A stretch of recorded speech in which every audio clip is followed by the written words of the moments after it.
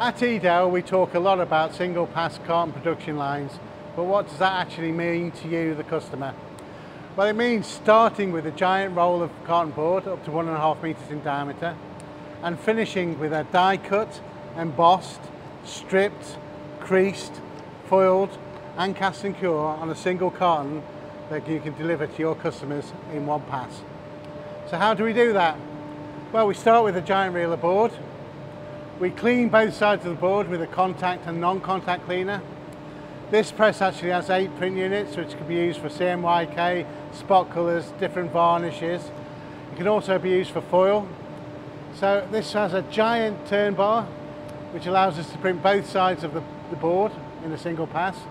We have a foiling unit which allows us to put cold foil down on the board to give a metallic effect which you can print on or print off. Again, we have a number of print units and we end up with our last foiling unit, which in this case is used for cast and cure to give a holographic effect on the finished carton. Okay.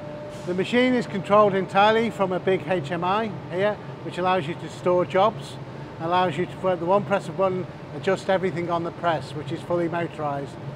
We also have an easy register system, which allows the operator to bring everything into register without any input. So the press will run itself. We then we can either run reel to reel, or in this case we're going through a flatbed die cutter.